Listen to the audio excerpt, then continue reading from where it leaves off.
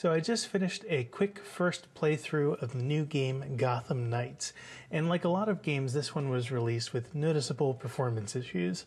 Hopefully, those get mitigated by future updates, but for now, I'm going to share the settings I endlessly refined to get my meager 1660 Ti to keep the game running between 40 and 50 FPS with a good looking image for the vast majority of my 25 hour first playthrough. These are settings I can confidently recommend to anyone playing on PC without a high end setup. The first thing you should know is that the game has a built in performance overlay.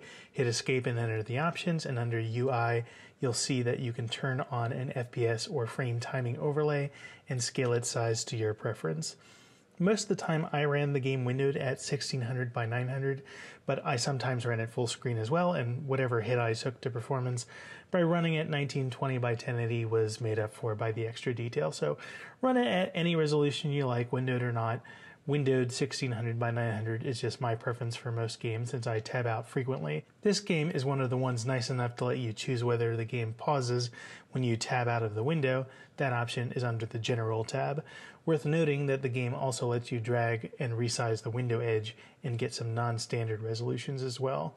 The key to getting a decent experience on PC with the Amada setup is to use the dynamic resolution options, which are very well implemented in this game. The game frame rate swings around a lot. Indoor scenes generally run at high FPS, but cutscenes tend to run significantly lower because they're running more detailed geometry and effects. The reason they're all in game and not pre rendered, by the way, is so that you can see your character and outfit choices in them, which is pretty cool. Out in the city is where the FPS swings the most. FPS drops very quickly when you're racing on the motorcycle, for instance. So basically, I'd say the game generally ranges from 20 to 60 FPS on a 1660 Ti, and that wide of a swing is really distracting. So the key to making the game look smoother is narrowing down that FPS range. The easy way to do that is just to set a frame limit, which is what they do on consoles. If you set the cap to 30 FPS, then the swings are just from 20 to 30 and it doesn't feel so bad. But of course, 30 doesn't really look great when there's a lot of motion happening. But if you use dynamic resolution, then in those 20 FPS situations, we can have the engine render at a lower resolution and then do a smart upscale. With that, we can usually get all the way to 40 FPS just by rendering at 80% resolution. The exact min-max scales available depends on your FPS limits and your window resolution. The image is a little blurrier, of course, but with smart image sharpening applied to the upscale, it actually still looks quite good. You can also apply a dumb sharpening filter on top of that. It costs nothing performance-wise, but I don't bother with it because the shimmery sharpening artifacts it introduces aren't worth the sharper image it gives you, in my opinion. So my FPS min is 40 and the engine will upscale when it has to to try and hit that. But then you see that my FPS cap is not 60, it's 50. The higher you set the cap, the more often the dynamic renderer will upscale and the blurrier the game image will be on average. So you don't want to set this higher than you need to. The game action looks pretty smooth at 50, so in practice, going even to 60 FPS causes the dynamic renderer to make your game blurry twice as often for an almost imperceptible improvement to your average FPS. Since even with the upscale, the game struggles to provide a consistent 40 FPS, the further the max is from that, the swingier and more distracting the frame timing is going to be anyway. So having the dynamic renderer target 40 to 50 FPS is really the sweet spot. The game will almost always run in that range and feel pretty stable, and the price you pay is that the image blurs a little in demanding scenes. The other settings down the page are pretty straightforward. More FOV means more stuff in view to be rendered, which means lower performance. Most of the time, you can have this at 70 and the game would feel just fine and, and run a little faster. The reason it needs to be as high as 85 is for group fights. Below 85 FOV, and thugs start sneaking up on you in your blind spots. Motion blur is well implemented in this game and it helps make the frame rate look smoother, so I recommend that. Ambient occlusion is the best bang for buck lighting effect in almost every game, including this one.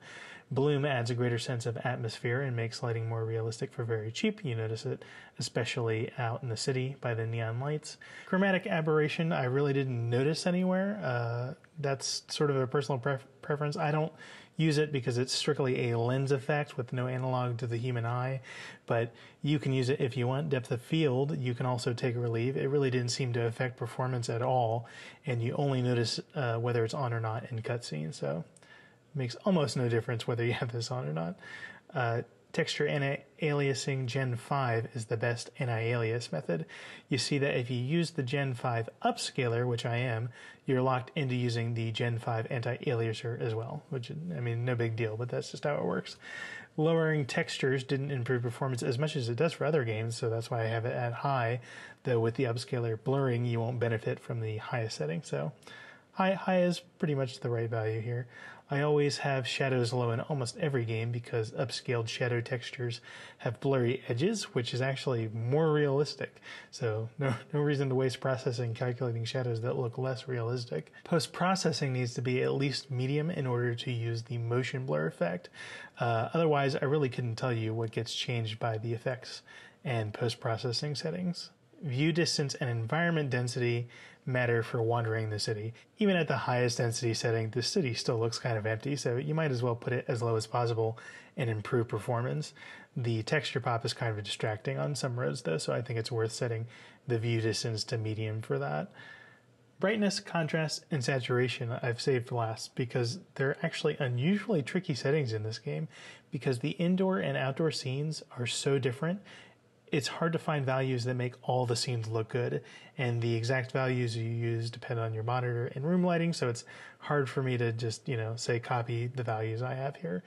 In general, the game looks better darker. That's especially true when you're doing night patrols in the city. And of course, the more black you make the image, the more you're going to hide any loss of detail from lowering the other graphic settings. However, there are a lot of spooky low light interior scenes in the game, so you can only make the image so dark without making those sections unplayable. So you're forced to use a middle of the road brightness uh, setting for that reason. Indoors, you need it brighter. Outdoors, you want it as dark as possible. So you basically just need to make it just bright enough that indoor scenes are playable. And unfortunately, that means the outside uh, scenes in the city just look way too bright. They just don't look good. Um, now, you can make it look better with a bit of extra uh, contrast, but it's very tricky to get the contrast settings just right. If you boost the contrast setting a little, you'll crush some blacks and the game looks darker. Outdoors will look better, but once again, the indoor levels will be too dark. However, with the right combination of contrast and saturation, you can make it work. Virtually every indoor and outdoor environment is filled with vibrant lights and contrasting colors. So with enough saturation, you can still see important objects in the indoor scenes, and that additional color contrast is enough to make them playable even though they're too dark. But you can't just max out the contrast to darken the image and max out the, the saturation to fix the indoor scenes. Because if the night city becomes too saturated, it starts looking really cartoony. And when you increase the overall contrast, the outdoor scenes actually look more saturated even if you don't actually change the saturation setting. So it's a very delicate balance, and uh, if you have any doubt, just just leave them all at 50. Anyway, there's my explanation of the uh, the settings that I recommend. Uh, I hope that helps.